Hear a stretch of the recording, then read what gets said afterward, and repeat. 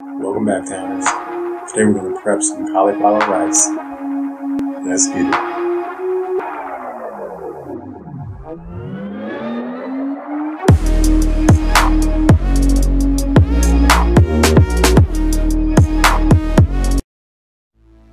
Alright guys, to start off this recipe here, well we're not making a recipe, we're just, this is a how-to video on how to make uh, cauliflower rice. Uh, we basically have a one head of cauliflower here um, and we uh, took it out and cored it as we've done in previous videos, just cut around the stem to take off the core, remove any green leaves or anything you see around that. And then basically just cut this up into smaller pieces. Uh, we're using a food processor here, so we're basically just cutting up into small enough pieces that will fit into our food processor uh, lid. If you have a hand grater, you can do that as well. Just basically just cut up the pieces in your hand and just grate, grate it with a cheese grater. Here we are uh, placing the cauliflower into uh, our food processor. Uh, we have my son Shade in here helping me out as well. And just basically put it all into the shredder and it'll shred out by itself and um, that's it.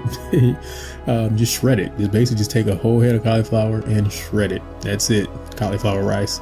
Um, now this food processor, it did shred our pieces down pretty fine, uh, finer than what you would normally see when you buy cauliflower rice from the store. But it's still the same thing. It'll just be smaller little grains as, you normally see.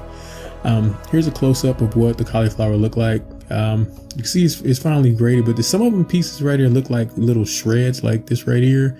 Um, I noticed what that how that happened was um, when I cut the cauliflower up, I left the stems and the stalks on it.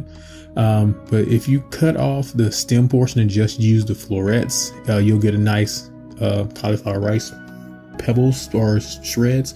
But if you get down to the stem, the stock portion, you'll see that's where it starts to get a little streamline. Looks like pieces of cheese in there, but it all works fine.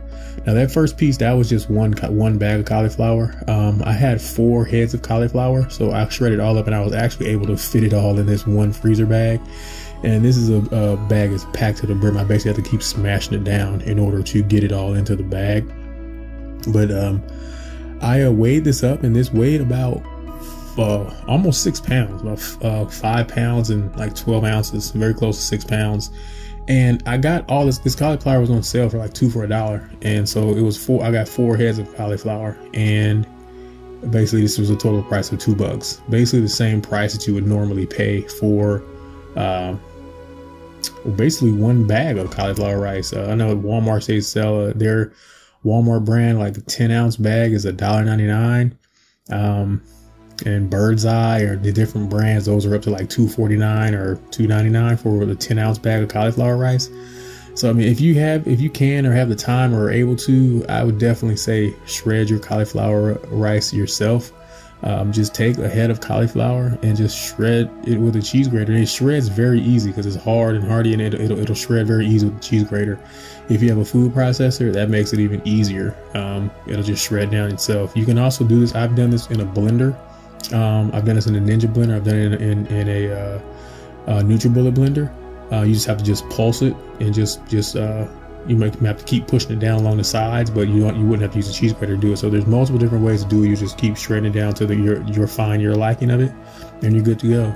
Um, again, this is a quick recipe, or let's keep a recipe. This is a quick video just to show you how to make cauliflower rice. And uh, thank you guys for watching. Enjoy. Enjoy and please subscribe. Enjoy. Hey Towners, please like, share, and subscribe. If you have any questions or comments, please feel free to leave them in the comment section. All ingredients and directions are listed in the description box below each video. And as always, thank you guys for watching.